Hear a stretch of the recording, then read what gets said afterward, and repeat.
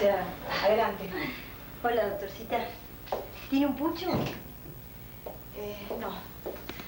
Bueno, Ana, yo me voy a presentar. Soy la licenciada Patricia Ochoa. Desde hoy su nueva terapeuta. Siéntese, por favor. Otra doctorcita nueva. ¿Cómo cambian acá? Yo ya tuve un montón. ¿Tiene un pucho? ¿Quiere que le hable sobre mí? Mira, Ana, estuve leyendo tu historia clínica. Sé que fuiste dada de alta hace 25 años y que nunca se pudo encontrar a tus familiares. Sé que hace 31 años que estás aquí y que viniste a los 11 años. ¿Recordás eso, Ana? Eso es mentira. Mi mamá viene siempre a verme. Lo que pasa es que no me dejan ir. Porque me quieren mucho acá adentro. ¿Y qué dice tu mamá cuando te ve tan desprolija, Ana? ¿Qué pasa que no te bañas? Me voy a bañar cuando pongan las estufas. Porque acá adentro el frío te cala los huesos y el agua sale casi helada.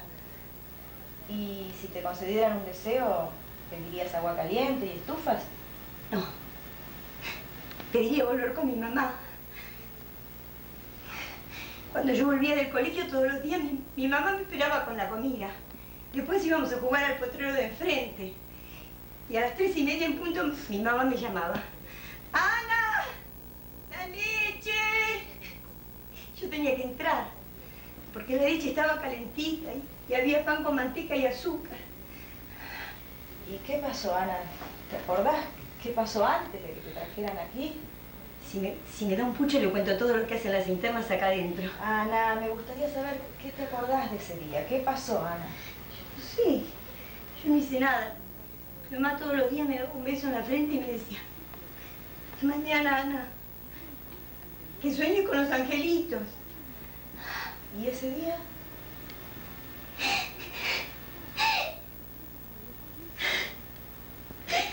Mi hermanito lloraba. Mi mamá tomaba y se ponía muy mal cuando mi hermanito lloraba. Y me decía, Ana, hacelo callar, Ana. Hacelo callar o te mato, Ana. Mi hermanito lloraba y lloraba, y lloraba. Y yo decía, callate, por favor, que mamá nos va a pegar a los dos, callate.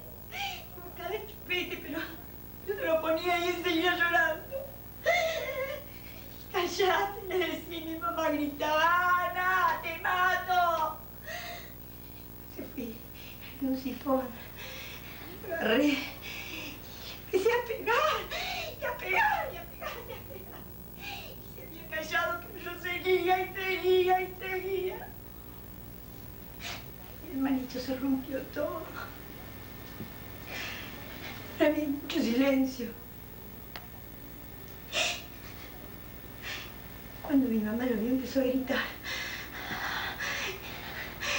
Me trajeron acá. Pero después mi mamá me perdonó. Y días me vine a ver. Tres y media en punto me llama. ¡Ana! ¡La leche! Y yo entro. La leche está calentita y, y el pan con manteca y azúcar.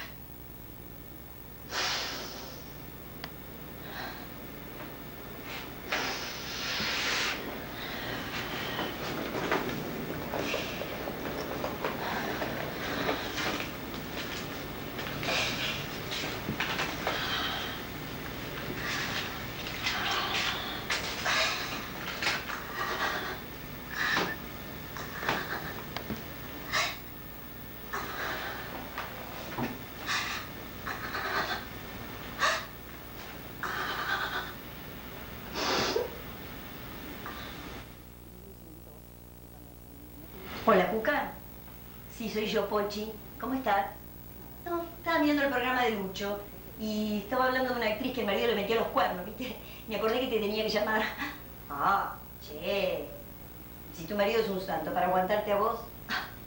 Es una broma, ¿qué te pasa? Me acordé porque la actriz tenía ojos marrones y pelo marrón, ¿viste? Igual que vos. ¿Qué te pasa? ¿Estás de mal humor? ¿Tu hija te trajo un novio nuevo? Ah, che, te llamo con mi mejor buena onda, tengo un notición para contarte. Sentate. No, no, sentate. ¿Estás sentada? Bueno, escucha. ¿Sabes quién le vino a la madre embarazada de tres meses? No. No. No. Sí. Bueno, ¿sabes lo que es esa casa? Un candombe, baño. Pero vos dónde vivís? ¿Dentro de un freezer, mamita?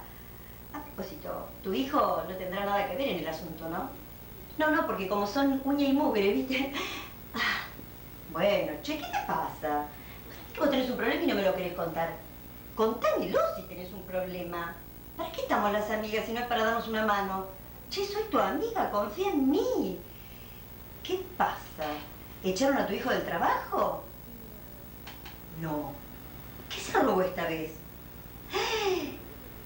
¡No!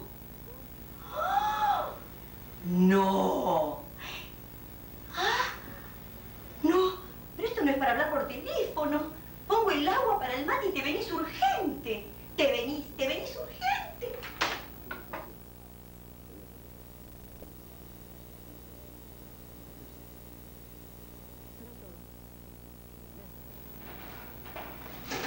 Ana, ¿viste que lo de Lee, su nuevo amigo, va en serio? Usted me parece que está enamorada. Me alegro por ella. Él parece un tipo bárbaro. ¿Qué te pasa? ¿Y qué me pasa? Me pasa que estoy muy disgustada por lo que escribiste, eso me pasa. Ah, hablas de mi guion. Sí, por supuesto. Está obviamente basado en Ernesto y en mí. Bueno, un poco solamente. No, nada de un poco solamente. Como lo ves. Con que has de aceptar los sentimientos y el afecto de la gente. Pongo barreras entre la gente y yo. Es una historia inventada. No, es absolutamente real. Las situaciones, el diálogo, todo. Todo está lleno de detalles íntimos de Ernesto y míos y que no entiendo cómo pudiste llegar a conocer. Hasta una conversación que tuvimos sobre la posibilidad de adoptar. Bueno, Lee me contó, yo supuse que vos se lo habrías contado a ella. Yo tomé lo esencial y le di forma dramática, nada más. No entiendo cómo Lee pudo saber todas esas cosas. No lo entiendo.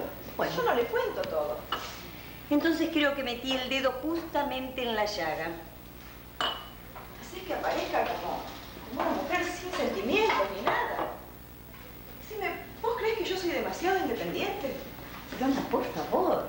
Vos nos apoyás en todo. Todas dependemos tanto de vos. Y eso no es una crítica. Nosotros te queremos.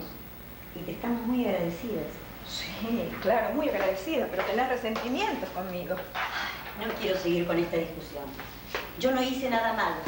Vos misma me contaste que entre Ernesto y vos había problemas. Por supuesto que hubo problemas, pero que son asuntos exclusivamente míos y que no entiendo cómo pudiste llegar a conocer con tanto detalle. ¿Qué sabe de todas esas cosas? ¿Cómo? Son cosas demasiado íntimas, ¿entendés? ¿Y por qué no compartís tus problemas con nosotras? ¿Quién, yo? No, jamás. Perdóname, pero a mí no me gusta molestar a nadie. Esa es la cuestión. A mí me gusta que me molesten. No entiendo cómo pudieron llegar a saber tantas cosas. A no ser... A no ser que Ernesto te las haya contado. No, Ernesto no me contó absolutamente nada. Mira, Ana, si te ofendí, te pido por favor que me perdones. ¿Mm?